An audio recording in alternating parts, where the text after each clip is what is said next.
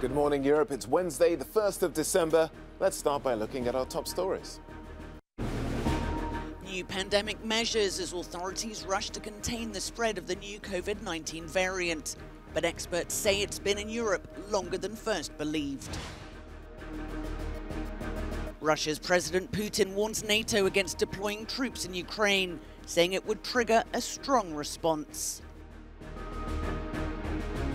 And on World AIDS Day, patients in the DRC say the COVID 19 pandemic has led to a lack of resources for people living with HIV.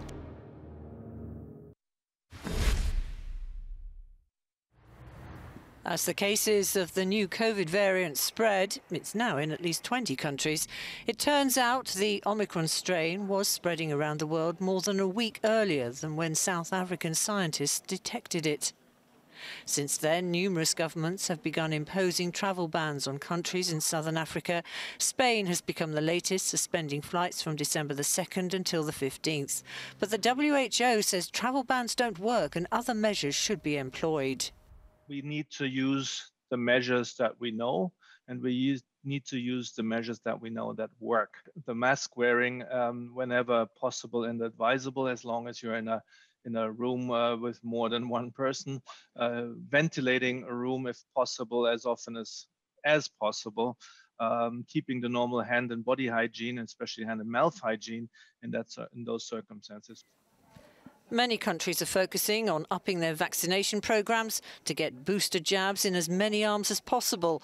The UK, for example, is launching what Prime Minister Boris Johnson has termed a jab army, setting an end of January deadline for all adults to have a third shot.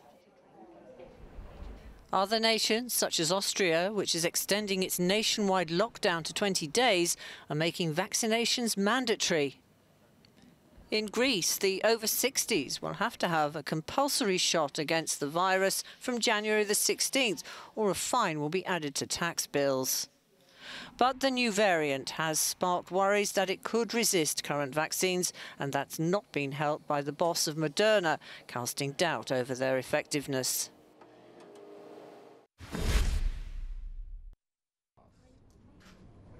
Despite concerns that existing vaccines may be less effective against the new variant, immunologist Professor Luke O'Neill told Euronews that booster shots could still provide a strong line of defence.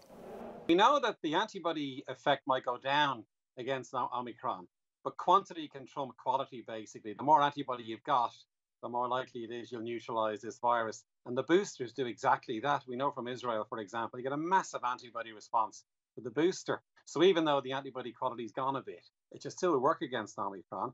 And so we should get the boosters into people as soon as we can. And I'm saying Ireland should follow the UK now, all the over 18s, and very importantly, shorten the gap, gap between the second and third shot. At the moment, it's five months, for example, in Ireland. The UK are moving to three months as a gap. And I would say every country really should follow that lead and shorten that time between, between the second and third shot. NATO foreign ministers are meeting in the Latvian capital Riga amid worries over a buildup of Russian troops on the border with Ukraine. NATO Secretary General Jens Stoltenberg warned that any invasion by Russia would have consequences. Several times now, there will be a high, a high price to pay for Russia uh, if they once again use force against the independent sovereign nation, uh, Ukraine.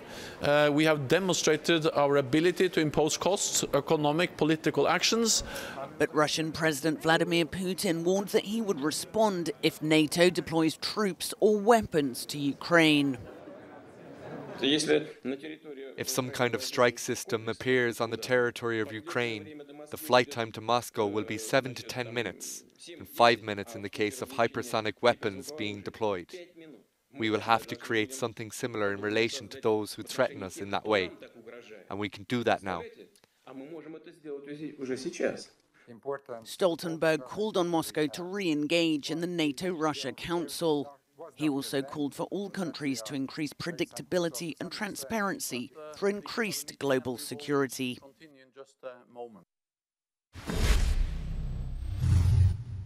Russia's military buildup near Ukrainian borders probably is one of the main questions here at NATO Foreign Ministers Summit in Riga. US State Secretary Antony Blinken, as well as NATO Secretary General Jens Stoltenberg, said today that Russia will pay high price if any military action against Ukraine will take place. Poland, as well as Baltic countries, also wants to talk about migrant crisis created by Belarus. They say that these two events happening at the same time and it's not a coincidence. But more broader, ministers will be discussing new NATO strategic concept. That document was adopted previously 10 years ago when Russia was treated as a partner, but China was not mentioned at all. The new document also will face and look how to deal with cyber and hybrid threats that NATO is facing now. Yanis Laizans, Euro. J'ai décidé de me présenter à l'élection. A new candidate has declared his bid for the French presidential election of 2022. Eric Zemmour, a former political journalist and TV pundit, published a video on Tuesday putting the official stamp on his candidacy. Seen by observers as being on the far right side of the political spectrum, his speech focused on the themes of immigration and national identity.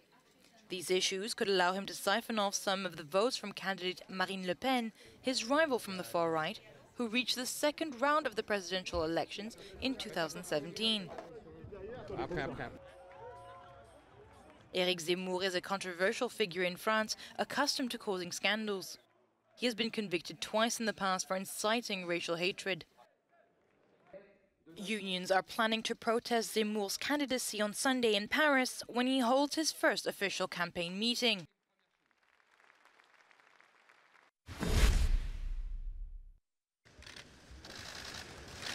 The French Supreme Court will announce today whether or not former President Nicolas Sarkozy will have to stand trial on corruption charges related to his 2007 presidential campaign.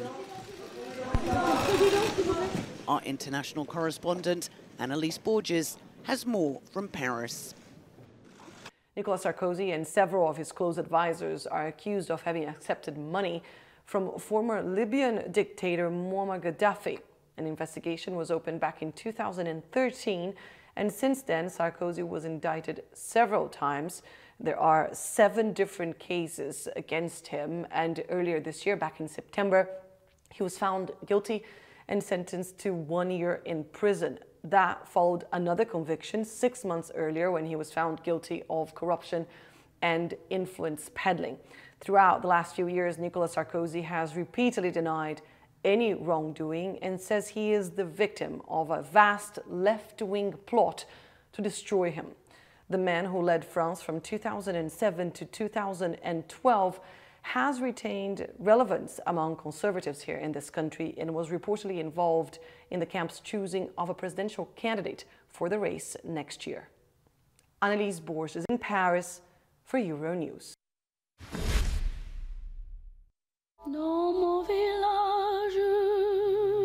Josephine Baker has become the first black woman to receive France's highest honour, being inducted into the Pantheon.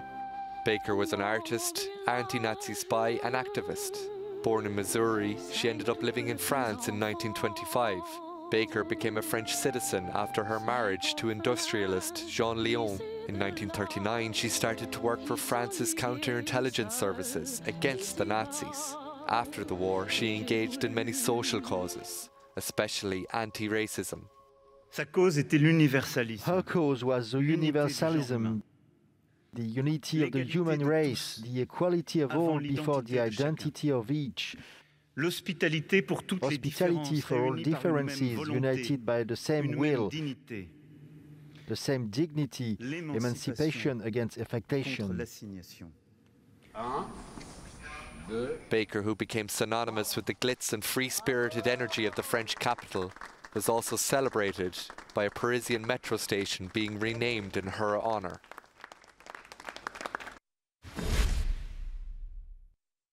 Time for us to take a break here on the programme. Don't forget, if you want to dig a bit deeper into the stories, do check out our website. There's a particularly good article which scratches beyond the surface of the new COVID variant. We'll be back in a few moments. With December 1st marking World AIDS Day, many HIV charities are questioning the resource drain COVID 19 is having on global health systems. In the Democratic Republic of the Congo, those living with HIV and AIDS complain of being deprived of their access to care. Jean Louis and his wife Odette are both HIV positive.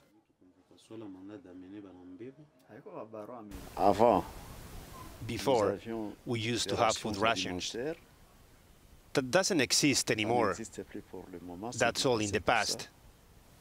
The medical care, the financing in the HIV sector, all that no longer exists. A recent UN AIDS report noted that COVID 19 lockdowns and other restrictions have badly disrupted HIV testing around the world. In many countries, this has led to steep drops in HIV diagnoses. In terms of supply, we depend a lot from abroad. We need to keep asking so that we don't have a break in supply. And as per the funding with the arrival of COVID and Ebola, the funding has dried up. Both patients and carers know that without international support, they'll never see an end to the AIDS epidemic in the DRC. Belgium may have one of the highest vaccination rates in the world, but these stats hide deep inequalities. Like here, in a poorer pocket of Brussels, the mayor's on a mission. Get jabs in arms. From handing out free PCR tests and checks worth 25 euro, Amir Kir wants to explain to locals why vaccines matter. It's important. We have, we have worked with this, with, and also with the colors, with the age. We want it old, young, uh, white, black, and so on. Why? To talk to people who are afraid. Although Saint-Josse is just a short walk from Brussels' EU quarter, Amir Kir blames poverty and lack of digital access for the low vaccination rate. Only one in five adults here have had their first jab, compared to 81% in richer districts like Woluwe Saint Pierre. I don't know why uh, in Europe some thinks that everybody is rich. No, uh, we have people who have not the money, and we have people also who are old. They are de disconnected with this new uh, social media. Online registration as well as language acted as a barrier for the vaccination drive. But for Amir Kir, in a district where many have no smartphone, solutions must come from the ground. And I say, uh, since um, the beginning of this crisis, you know, the answer is in the local uh, level, not in the federal and regional level. It's better to work with people who have the trust of the population and not with anonymous people. A hero in his own right, Amir Kir is planning to keep up this local touch as the Omicron variant spreads around the country. Maeve McMahon, Euronews, Brussels.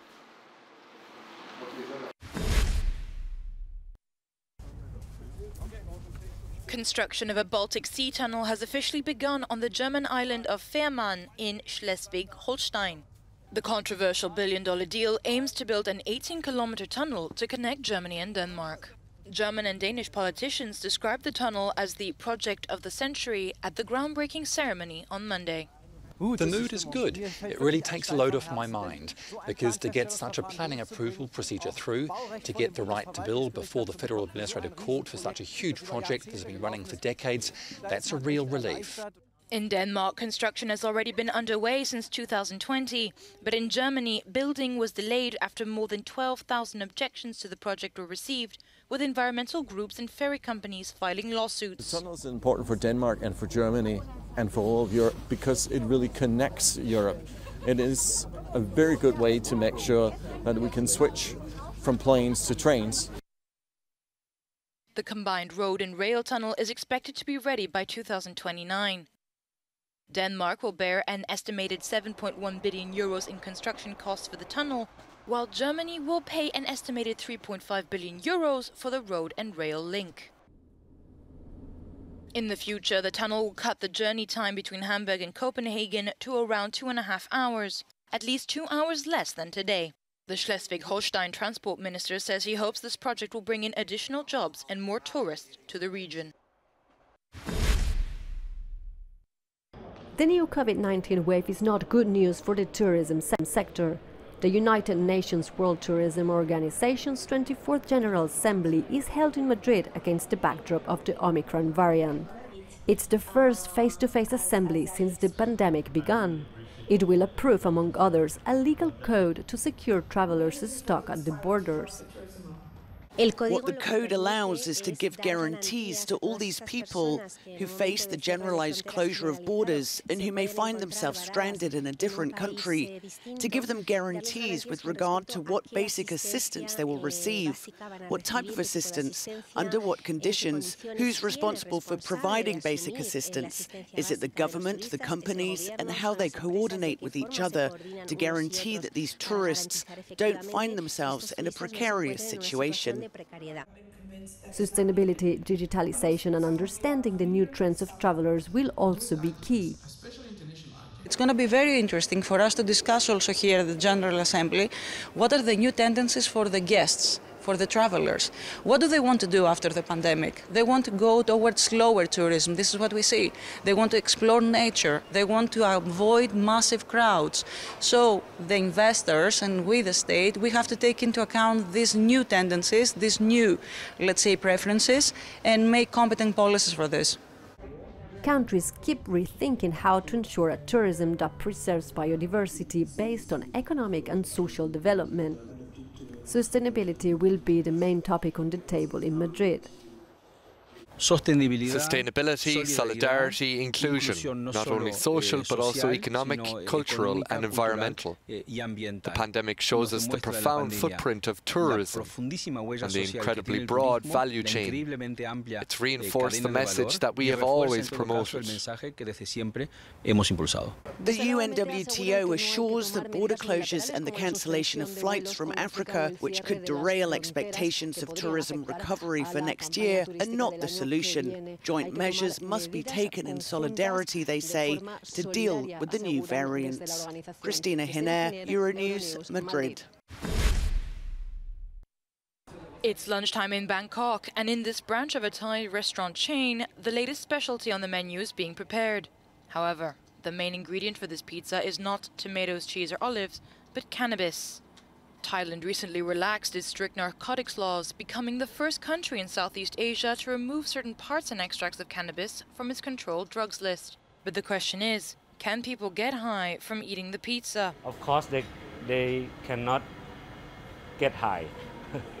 um, it's just a marketing campaign, and you can test the cannabis test, and then if you have it enough, you maybe get a, a bit sleepy.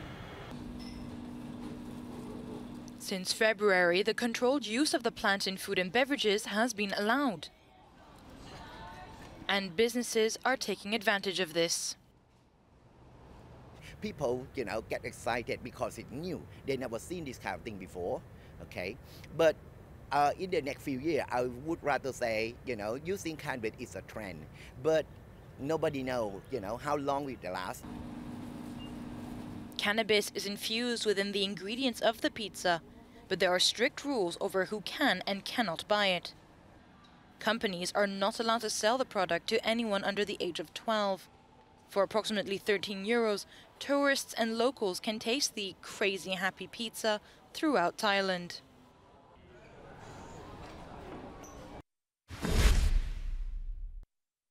That's it from me and the team here on Euronews. Don't forget you can stay up to date with all of our top stories on Euronews.com.